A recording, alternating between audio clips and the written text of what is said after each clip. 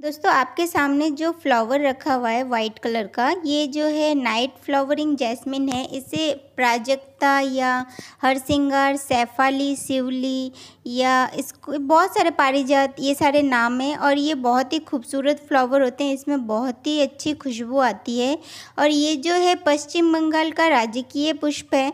तो दोस्तों, ये बहुत ही इससे गजरे वगैरह बहुत बनाए जाते हैं या सेंट वगैरह भी बहुत बनते हैं और खुशबूदार बहुत ज़्यादा होता है। तो आज मैं इस फ्लावर के बारे में नहीं, मैं इसकी कटिंग लगाना सिखाने वाली हूँ आपको कि जो हर सिंगार है, उसकी कटिंग के लिए आपको किस तरह का प्लांट लेना है। दोस्तों, आप देख सकते हैं इस तरह की कटिंग जो है आपको लेके आनी है। मैं वैसे तो दो कटिंग लाई हूँ और दोनों लगभग सेम ही है। दोस्तों, आप कोई भी कटिंग ला रहे हैं और जिसमें भी आपको जो स्टैम्प में छोटे छोटे से डॉट दिखते हैं और बाद में यही जो है रूट्स बन जाता है दोस्तों। और आपको कटिंग जो है कम से कम पेंसिल जितनी मोटी लानी है, आप चाहे तो उससे थोड़ा और मोटा भी ला सकते हैं और थोड़ा हेल्दी जो डाली है वो लाइएगा। और दोस्तों, अगर आप दूर से ला रहे हैं क्योंकि ये प्लांट क्या पता आपके आसपास हो या नहीं तो दोस्तों, इसकी कटिंग के लिए जो है हमें छः इंच से सात इंच तक लेना है। वैसे तो मैंने काफ़ी कटिंग का जो है वीडियो शेयर है और आपको शार्प कटर चाहिए इसके लिए।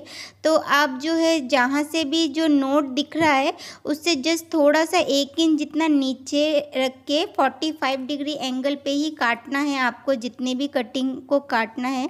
दोस्तों, अगर आपने मेरा चैनल अभी तक सब्सक्राइब नहीं किया है, जब तक मैं ये कटिंग कर रही हूँ तो आप मेरा चैनल भी सब्सक्राइब कर सकते क्योंकि ये जो इसका रिज़ल्ट जो आने वाला है कटिंग लगाने का, वो हंड्रेड परसेंट रहेगा। और आप जो इसमें सीड भी लगते हैं तो सीड से भी इसको जो है प्लांट ग्रो कर सकते हैं। ये जो पारिजात का जो प्लांट होता है दोस्तों, ये दस से पंद्रह फीट तक का जो है एक बड़ा पौधा भी बोल सकते हो आप इसको, या ये अगर ज़मीन में लगा रहे हैं आप तो ये बहुत बड़ा वृक्ष भी बन जाता है ट्री की टाइप्स का हो जाता है। और बहुत ज़्यादा बड़ी तो पच्चीस से तीस फीट हाइट भी हो जाती है, लेकिन जो लोग पॉट में लगाएँगे, वो तो टाइम टू टाइम कटिंग वगैरह करते रहते हैं तो उस हिसाब से इतना बड़ा हो नहीं पाता। तो मैंने ये सारी कटिंग्स जो है निकाल ली है दोस्तों। अब इसको जो है अच्छी तरह से आप देख लीजिए, पूरा सफ़ाई वगैरह अच्छे से करना है। मतलब इसको बस हम स्टैम्प स्टैम्प ही रखेंगे, कोई लीव्स वगैरह मैं नहीं रखने वाली हूँ। दोस्तों, मैंने सारी कटिंग जो है काट ली है और वो दिखने में कुछ इस तरह से है। आपको नीचे से जो है एक इंच जितना जिस तरह से आप पेंसिल वगैरह छीलते थे, बचपन में उस तरह से छीलना है। और बाद में दोस्तों एक इंच जितना ही छीलना है। और ये ध्यान रखना है कि जो नीचे का पोर्शन है वो नीचे और ऊपर का हिस्सा ऊपर की ओर ही लगाए और दूसरी चीज़ जो सॉइल मिक्सचर लेना है, उसके लिए आपको फिफ्टी फिफ्टी रेशियो रखना है। फिफ्टी परसेंट जो है आपका नॉर्मल गार्डन सॉइल में फिफ्टी परसेंट सैंड और ये आप देख सकते हैं, ये सारा मैंने जो है नीचे से भी पूरा साफ़ कर लिया है।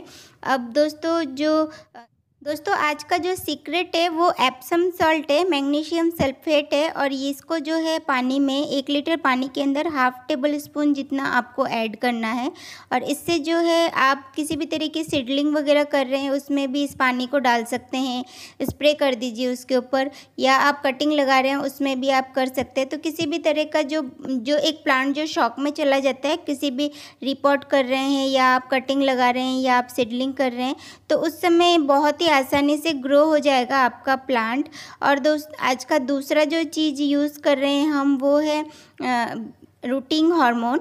रूटिंग हार्मोन से जो आपके जो प्लांट के जो रूट्स वगैरह है, वो बहुत जल्दी से निकल आएगा। और जल्दी से निकल आएगा तो आपका जो प्लांट है, वो बहुत ही अच्छे से ग्रो होने लग जाएगा। दस दिन में तो कटिंग लग भी जाती है और लीव्स वगैरह भी आने स्टार्ट हो जाते हैं। अगर आपने कटिंग सही से लगाई होगी तो या सही जगह पर रखा होगा तो। दोस्तों, कभी भी आप जब कटिंग लगा रहे तो उसी से ही आप जो है होल वगैरह मत कीजिएगा। आप दूसरे किसी भी ख़राब स्टिक ले लीजिए या कुछ भी उससे आप जो है होल कर लीजिए। और आप एक पॉट अगर आपके पॉट का साइज़ बड़ा है तो ज़्यादा भी कटिंग लगा सकते हैं, क्योंकि कटिंग को ग्रो होने के लिए बहुत ज़्यादा जगह की ज़रूरत नहीं होती है। अब इसको जो है रूटिंग हार्मोन में डिप कीजिए और जितना एक्स्ट्रा लगा हुआ रहेगा, उसको आप झाड़ लीजिएगा। और उसके बाद में जो है, अपनी कटिंग को इसमें मिट्टी में कम से कम दो इंच जितना या ढाई इंच जितना भी आप सॉइल के अंदर डाल सकते हैं। और कटिंग जो है बार बार हिलनी नहीं चाहिए। कटिंग ना लगने के बहुत सारे कारण होते हैं, उसमें हमारा ही फॉल्ट होता है। क्योंकि कटिंग लगाने के जो रूल होते हैं, वो हम लोग जो है फॉलो नहीं करते हैं। या कुछ ना कुछ उसमें मिस्टेक हो जाती है तो हमारी कटिंग लग नहीं पाती है। दोस्तों, जैसे भी आप कटिंग लगाए तो उसको छाँव में रखिए सेमी सेड एरिया में रखिए, ऐसी जगह पे जहाँ डायरेक्ट धूप ना आए, आपकी कटिंग हिलनी नहीं चाहिए। आपने जो कटिंग लगाई है, उसके जो नीचे से जो पोर्शन है वो 45 डिग्री एंगल पे कट होना चाहिए। इन सारी चीज़ों को ध्यान रखिए आप, और आपका जो सॉइल है वो हमेशा जो है मॉइस्चर रहना चाहिए। अगर आपकी कटिंग सूख गई है या मिट्टी आपकी सूखी है तो नहीं लगेगी। दोस्तों, ये दस दिन बाद का वीडियो है और आप देखिए, सारे जितने भी कटिंग है, सब लगी है मेरे। दोस्तों, आप देख सकते हैं कि मैंने जितनी भी कटिंग लगाई थी, वो बहुत ही अच्छी तरह से ग्रो हुआ है। ये दस दिन बाद का वीडियो है मेरा और इसमें शायद कुछ एक सीड्स वगैरह भी थे धनिया के तो वो भी निकल आए हैं इसके साथ साथ जो कटिंग है उसके साथ।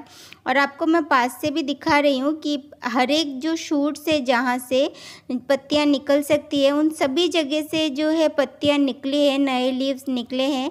और अब दोस्तों, इसको मैं निकाल के नहीं दिखाना चाहती हूँ, क्योंकि अभी तक भी जो कटिंग पूरी तरह से अच्छी तरह से नहीं लगी है, किसी भी कटिंग को अगर आप लगा रहे हैं तो अगर आप उसको छेड़ेंगे अभी दस दिन बाद में तो वो कटिंग ख़राब हो जाएगी।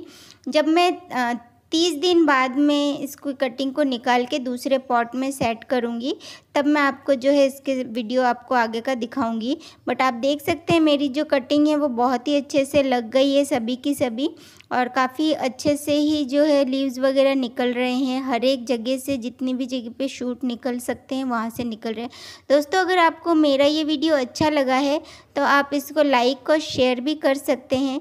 मेरे चैनल को सब्सक्राइब अगर आपने नहीं किया है तो नीचे बेल बटन पर प्रेस करना ना भूलें।